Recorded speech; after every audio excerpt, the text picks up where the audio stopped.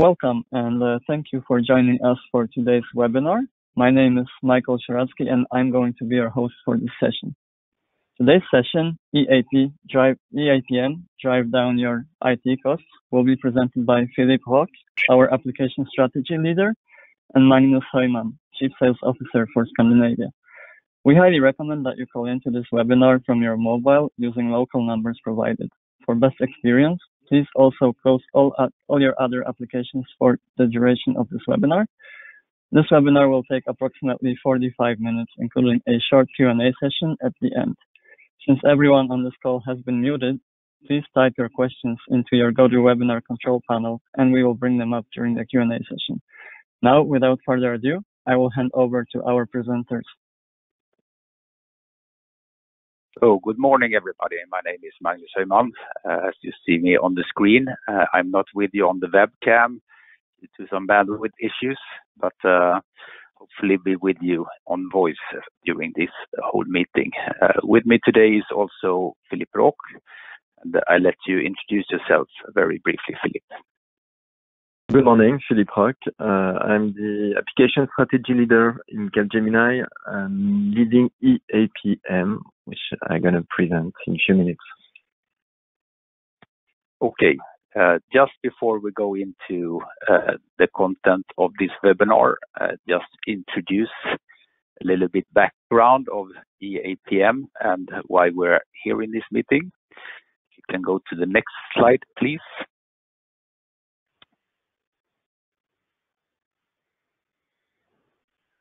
Okay. So uh, overall, the impact of uh, the situation that we have right now with COVID and everything is, of course, very uh, tough for us, both from a personal level as well as, from a business level. I'm sure it is for you as it is for us. There are sectors, of course, which is heavily impacted, travel and transportation, hospitality sectors, but there is also others in manufacturing and, and uh, uh, non-food retail companies that are closing down and uh, losing a lot of turnover. You lose a lot of turnover and you also see GDP declining and, and uh, growth, growth will take some time before it comes back, we need to start to look at cost. And the cost reduction is something we talk a lot with our clients around today. Uh, there is always a need for us to be more efficient and uh, use the means that we have in the best possible way. But uh, of course, we need to understand what gives most bang for the buck. Some of the questions that this webinar hopefully will will answer is, for example, how do we create rapid sustainable savings how can we align IT spend to new business priorities? How can IT enable increased business agility? How can we maximize our variable cost? So, uh, in order to do this, uh, which is not easy, we think from our perspective that it's very important to be transparent and take fact-based decisions. So without further ado, I leave the word to Philippe. Thank you, uh, Magnus. Uh, so we're gonna go through uh, EAPM to understand what it is, uh, and uh, I will make a live demo to make it even more tangible. And we'll go through a few case studies, European case studies, where it has been used, and then we'll explain how what's the next step, how we usually start the journey and then we'll have a Q&A session. Uh, let's start with uh, what EAPM is. It's a decision-making platform. It has been uh, created 10 years ago, and we are uh, a dedicated team within Capgemini working on it. And it's now a mature offering recognized by Gartner, Forrester, ISG. Uh, we have uh, accumulated data from our experience, and we have constituted a solid benchmark database. We have 7 million dat data points in our uh, database. And you'll see it's a holistic approach which can uh, analyze the full IT ecosystem. It's a multi-dimensions approach. So we address uh, scanning the portfolio, the financial dimension, the application dimension, the infrastructure, the operating model, and the move to the cloud. It's a, it's a it's a platform which is leveraging uh, AI techniques and also uh, analytics techniques and data visualization. Uh, let's uh, jump directly now into the demo just to make it uh, to illustrate uh, what I'm saying. So I hope you can see on your screen that kind of brain made of bubbles. Each bubble here is an application. In the pop-up, you can see the name of the application and some key characteristics. So when we uh, start EAPM, we first uh, collect data. So the idea is to describe the IT ecosystem first leveraging existing repositories such as uh, CMDB, such as uh, uh, APM tool, Excel file, ticketing tool, uh, whatever. We are fully agnostic from the source of data. Uh, and when we collect the data, we describe the application portfolio first. So uh, you see here 305 applications we can play with some attributes to see those applications. So here I selected the business criticality and you can see uh, different intensities of red. So darker is the bubble, more uh, critical it is for the business. You see here five level, but we could have three, two, uh, so we can configure everything. We can also represent some uh, size uh, for instance, if I have a ticketing tool, I can size now the bubble by the number of tickets. And now I see the main contributors to the number of tickets in my uh, landscape.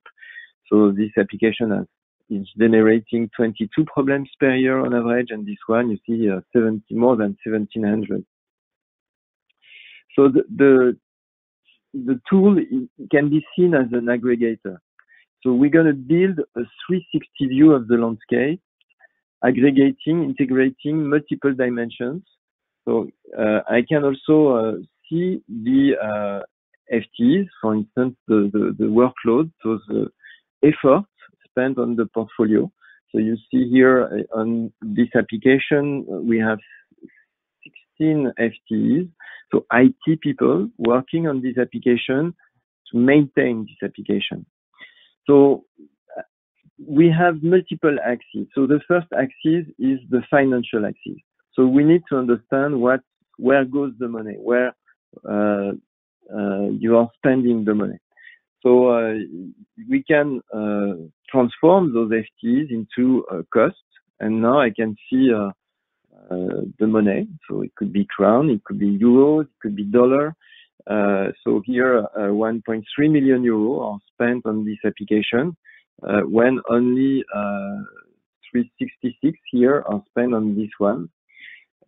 so here you see the, the, the big apps where you spend the money. Uh, this money can be seen uh, across the, uh, organization. So, and first, sorry, we can split the money per um, items. So we can see the hardware cost, we can see the license cost, and we can see the overall TCO here. So now I can see the, per application, the budget, the, the spendings per application. So when we collect the data, we uh, create this baseline. You see here 38 million euros. So I can see that I'm spending 38 million euros on that landscape.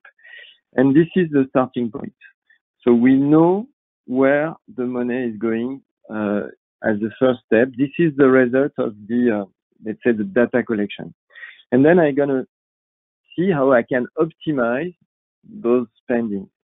So I have multiple dimensions uh, to do that. Let's start with the rationalization of, your, of the application. So for that, we are leveraging the Gartner approach, which is the, the time methodology. Uh, uh, clicking on that uh, button, uh, I can uh, create what we call a, a, tree map here, which is a static view. It's no more uh, bubbles, but square, but it's the same topic, uh, we can extract the tree map from the tool. So uh, it's a good visual because we can use it in a PowerPoint or any kind of uh, Word or whatever. So here I have distributed my application across multiple uh, destinies. Uh, so you see here eliminate destinies. So you will find in this uh, bucket all the apps which could be decommissioned without any replacement. So the second bucket is invest. You'll find here applications which have good technical and functional foundations, but maybe you could spend more. So you see here the surface is uh, representing the, the budget and they are small compared to the other. The color is representing the criticality again. Huh? So uh, behind each uh, category, behind, behind each destiny, we have a logic and we share the logic together. So uh, it's based on the attributes of the application. So in the eliminate category, you will find low critical apps with a low number of users, um, old apps maybe. So we, we will have a combination of criteria we share together and for you to understand this outcome. So it's a co-construction. At the end of the day, you understand uh, this uh, map. So what's the next steps? Uh, let's consider the, the uh, eliminate candidate only, and I remove from the screen the other. I can see in my organization who is managing those applications, so which domain is in charge of these apps. And now I can see each IT domain. So the, the column, the head of the column is uh, representing the IT domain uh, owner. And I can see uh, now, I can, sorry, start a conversation with them. Why don't we do, why don't you decommission this application, low critical apps, low number of users? So they say, they will say, yes, but I need to talk to my business. Let's color now by the business owner. The next step will be a joint meeting between IT and business, uh, explaining the opportunity for decommissioning and uh, best case, uh, taking the decision for that. So you see, EAPM is there to prepare the ground for the decision. But at the end of at the end of the day, no magic. You take the decision and you take commission.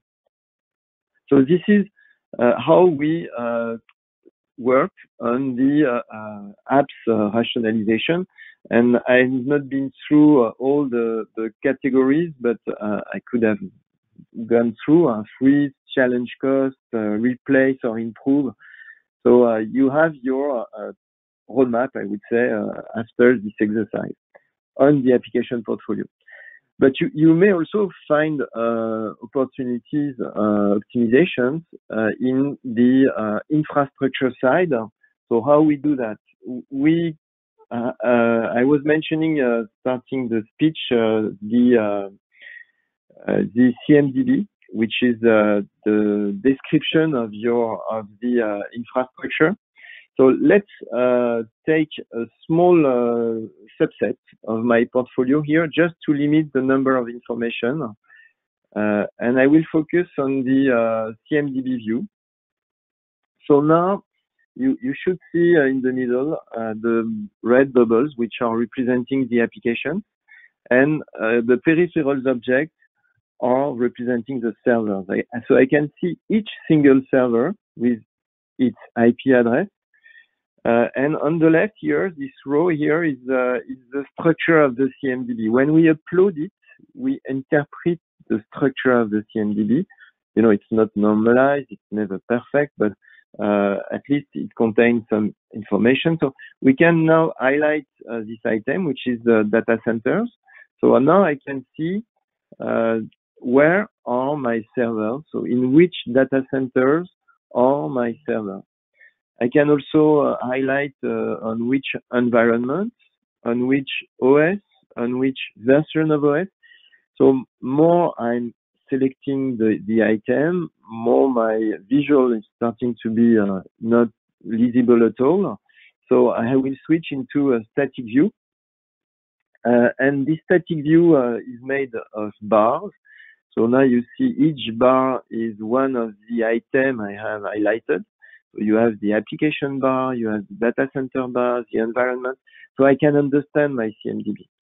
And uh, the uh, axis here for optimizations will be, uh, for instance, first the data center. So you see multiple data centers. So maybe I will find some small data centers with less than 50 servers and I could uh, start to work on uh, data center consolidation. I will also challenge the environment, so the ratio of production server versus non-production server. Maybe uh, I have too much non-production server.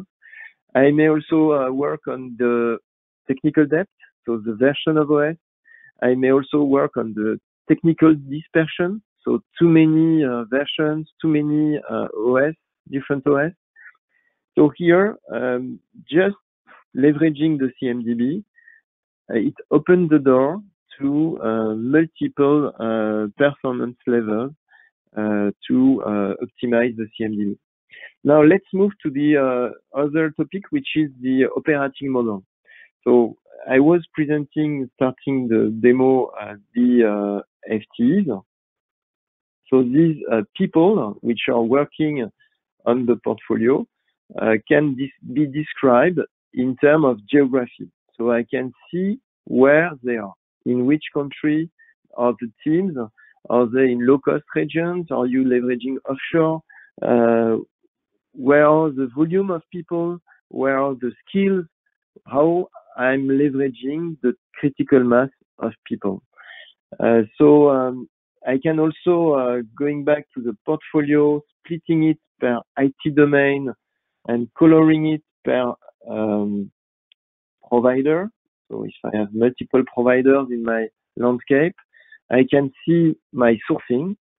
And now you can see each head of a column is an IT domain. Each color is a provider. And I can see the yellow provider where it is. uh, I can see where is the green one. Sorry. And I can see uh, the overall uh, sourcing. So here you understand with all this information, I can challenge uh, the uh, offshore ratio. I can challenge how I'm creating synergies, how I'm mutualizing people, expertise, skills, and where. I can challenge the outsourcing ratio. I can challenge the sourcing. So all those uh, axes are uh, potential uh, performance levels on the operating model, on the way you work on your portfolio. And let's move to the last topic, which is the move to the cloud. So how we are uh, helping in the decision making to move to the cloud, which is a complex decision. We are providing in the tool uh, what we call decision trees, which is a logic you can configure with the EAPM. Uh, and each form, the blue forms here are if then else condition. And if you comply with the condition, you go to the yes branch. If you don't comply, you go to the no branch. And then you go to the next test. So with this approach, you can build your own uh, algorithm, your own logic to sort your applications. And here uh, it's a demo uh, decision tree, uh, cloud oriented, cloud eligibility oriented. I will uh, look for blockers first, and if my apps have uh, sensitivity, data sensitivity or security issues, they will fall into this basket, which is the on-prem basket, so not eligible for cloud. If they don't have blockers, I will be able to move to the the other step, so potentially public or private cloud as a target. And if I have more attributes, I will be able to determine the path to the cloud. So could be PaaS, could be IaaS, so depending on their uh, characteristics, again. So with this uh, tool, uh, we can build one logic at portfolio level and apply this logic globally on the portfolio, making sure everyone is uh, following the same approach, moving to the cloud. And once I've I, I done the logic, I can run it on my portfolio. So now I can see the bubbles. So each application uh, following his own uh, path on the decision tree and falling into the corresponding basket. So if I stop here the, the, the, the flow, I can click on this application and I can see, you see the red line, where it will go. So this one will be a, a, a private IaaS candidate, for instance, based on the logic I have uh, set up. So I can uh, now uh, go full speed just to accelerate the execution of the algorithm. And I will focus on, sorry, I will focus only on one out, outcome, which is the public PaaS candidate. So this is, uh, this is it. So, uh, uh now all my apps have been uh, tested and uh, at the end of the day, I have eight apps which are eligible for public PaaS. So I just click on my line here I go back to my tree maps. I can see and coloring the apps per the criticality now. I can see who is managing those applications. So the IT uh, domain in charge of those apps, which are eligible for public PaaS. I can see who is managing those applications. Uh, sorry, sorry, I can see who is using those applications. So now the business owner.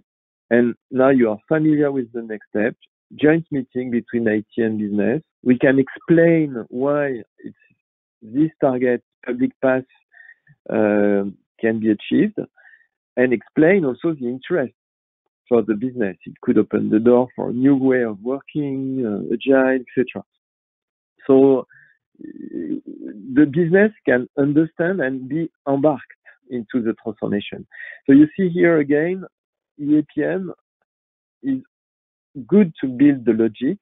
It's good also to share the outcome and embark the people in the next step. And embarking the people is a key success factor to make the transformation uh, a success.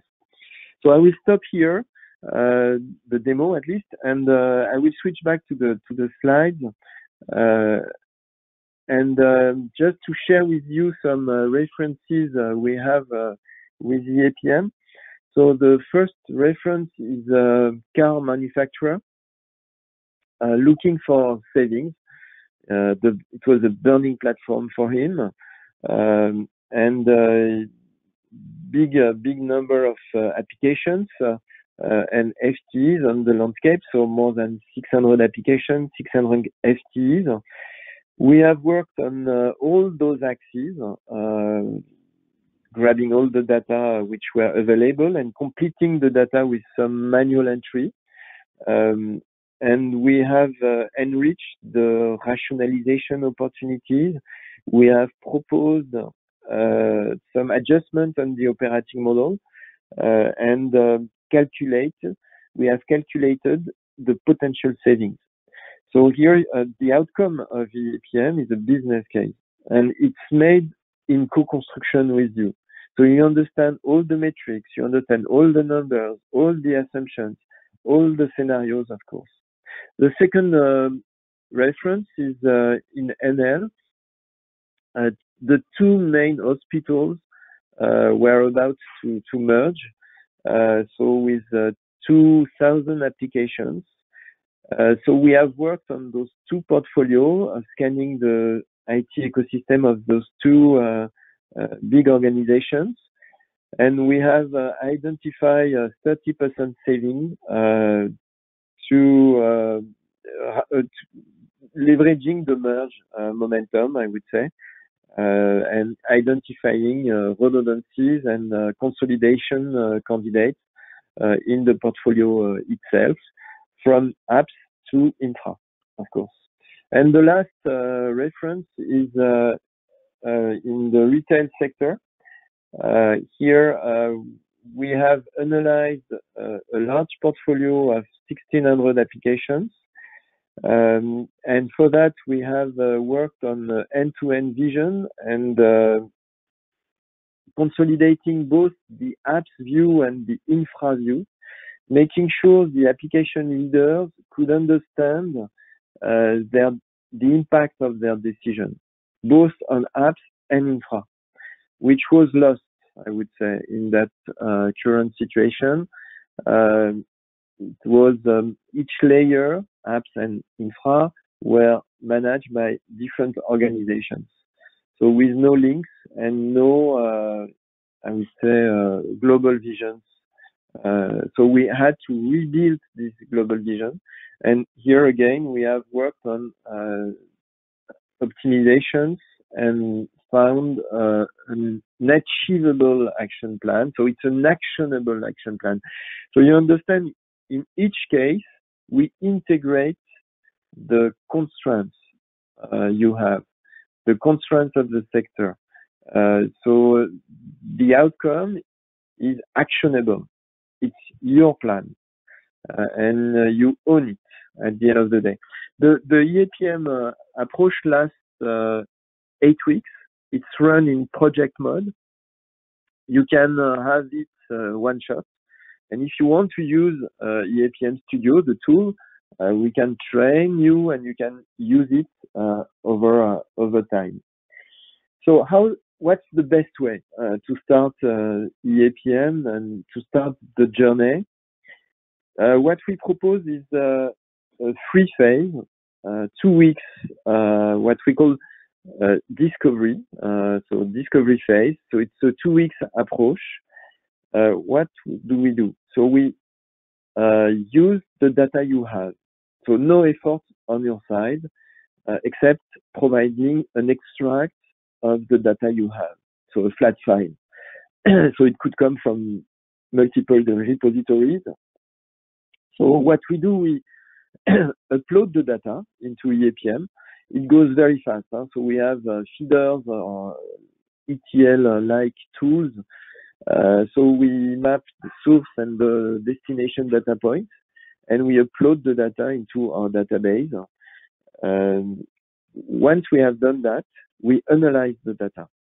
So we analyze the data uh, in terms of quality of data, in terms of completeness, but also uh, what they say. The first interpretation of what they say. And usually when we run this phase, we come out with uh, first list of rationalization opportunity, so application, rationalization, decommissioning, uh, we come out with a first draft of, of decision tree, cloud eligibility uh, decision tree. Uh, we come out with the first um, trends, I would say, uh, regarding the operating model and also risk analysis, so vulnerability points. So uh, the, at the end of those two weeks, uh, we will share this outcome with you through a, a workshop, a meeting, uh, and then you'll be uh, free, I would say, to uh, go further or to stop this approach. But we wanted to make it rapid and simple. Okay, to just to we are more there to solve problems than to add more problems that we all I have today. So this is it uh, for me, uh, Magnus. If you want to take over. Yes. Thank you, Philippe. And uh, at the end of this slide, you see that you can contact myself if you have any any questions or if you want to run this kind of discovery. Of course, we also um, have a network of account managers or account executives, which is connected to uh, many of uh, the clients that Gemini is working with. So you can always contact uh, your account manager as well. Uh, and I think you have Philippe's uh, email also in this material. so just wanted to say that. All right. I think, Michael, you will see if we have some questions from the audience that we could try to answer. That's correct, Magnus. Uh, I got some questions, and we can start with a direct one. What is the cost of the discovery phase? This is uh, one of yeah, the uh, questions that came in. Yeah, it's for free. Uh, as I said, uh, we wanted uh, it to make it simple. It, it's so we will invest, okay, and but have in mind it's uh, very rapid for us to uh, leverage the data you have. Uh, many things are automated within EAPM. and uh, so for us it will be a few few days of work but i hope uh, we will be able to uh, show the value so this is the, the idea to make sure uh, you are at ease with what we propose you you can feel the value you can share it with others to make the decision to go or no go for the eight weeks uh, assessment. Thank you, Philip. Uh, there is uh, one more question that we got from the audience. Uh, is there a minimum size of the companies where this tool is useful? Minimum number of applications also, is that something that there is? Yeah, it's a very good question.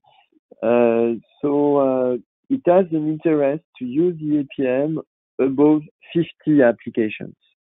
I would say below it's, uh, it's useless, but above uh, it starts to be interesting. Uh, so and EAPM has been made for large portfolios. So I would say there is no limit at that stage. the biggest portfolio we have analyzed was uh, made uh, with thousands of apps, five thousands of apps. But uh, I would say around 100 applications, it's a good number, above 50. Thank you for that. Uh, we have some more questions actually. Uh, the next question is What are the average savings that can be identified during this discovery phase? Yeah. Uh, so when we identify the savings, we first uh, split those savings in, into uh, short-term, mid-term, and long-term savings. Usually, on average, if I look back to what we have done this year, on average, we identified 27% savings achievable savings. Again, I reinforce the message. It's not theoretical savings. It's savings you recognize. Okay, savings um, coming from actions you can implement in your uh, environment. So uh, this is the average. But uh, you know, it's uh, like for the zebra. On average, they are gray. Huh? So we have within a portfolio some areas which are uh, above 50% savings, others which are below uh, 10%, very optimized. So um, it's always, uh, you know, specific, but um, the uh, I would say the beauty of the APM is to identify the most fruitful areas. So um, and so you can uh, start uh, to address this area to generate the performance you expect. Thank you. One more question from the audience. Is the data collection effort a one-off or can you integrate EAPM to allow for automatic updates of the data? Uh, EAPM we don't have today uh, API. Uh, so EAPM is not directly connected uh, in your into your IT landscape with other referentials. Why? Because we could do it. Huh? There is no technical issue, but we EAPM is thought as a decision-making platform. You can upload, you can, sorry, you can update every three months, every six months. You don't need a real-time uh, interface with uh, EAPM.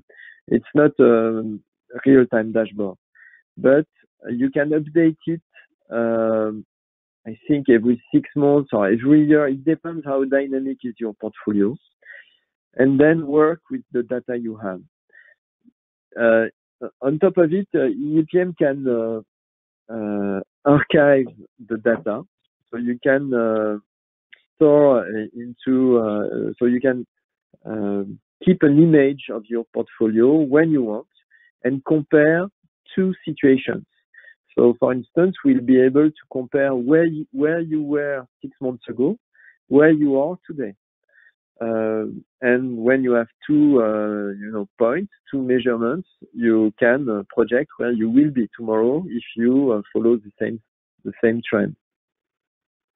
So we can. Uh, um, the, so the way we have thought EAPM, it's more uh, an offline, I would say, platform. You upload, you update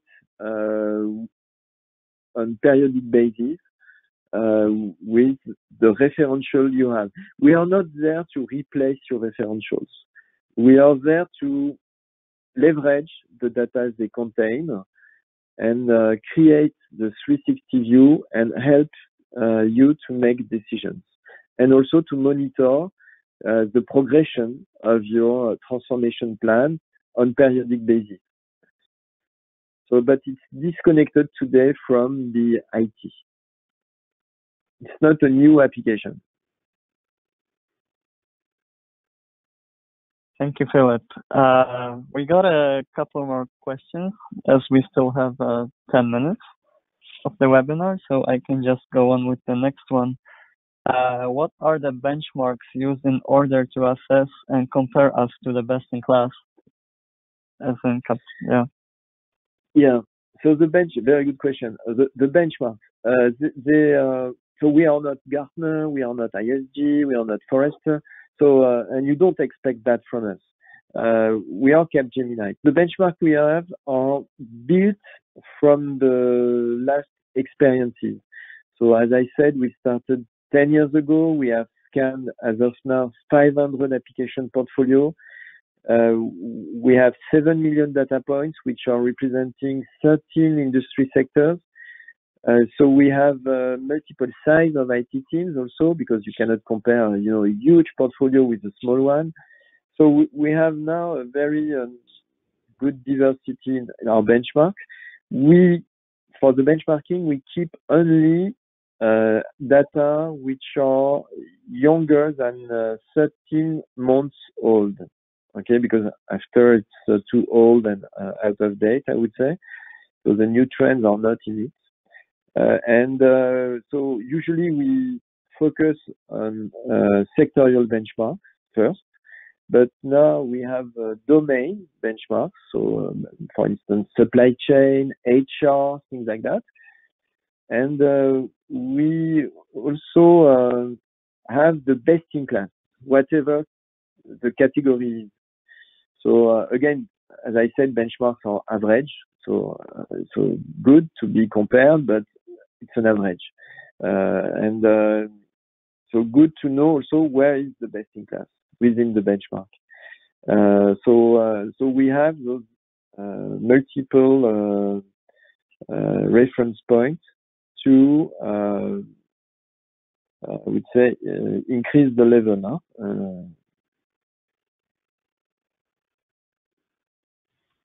Perfect.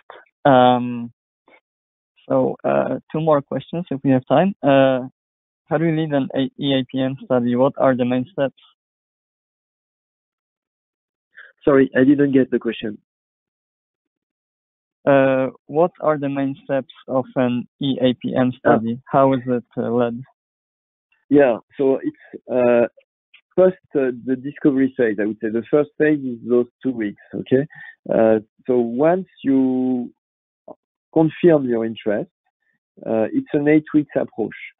Uh, three steps, preparation, data collection, and uh, analysis. So preparation is two weeks.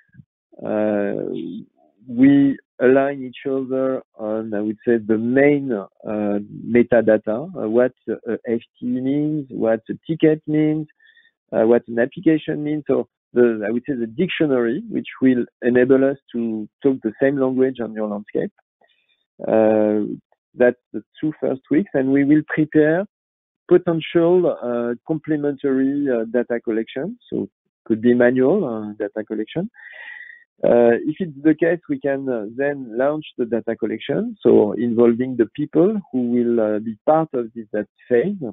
So it's four weeks and then uh, two weeks to finalize uh, and build the final report and share the final report with you. Uh, so when I, I present those three phases, uh, it looks like uh, very sequential. It's not the case. It's very iterative. So once we have data, we analyze. Once we and we share with you the outcome.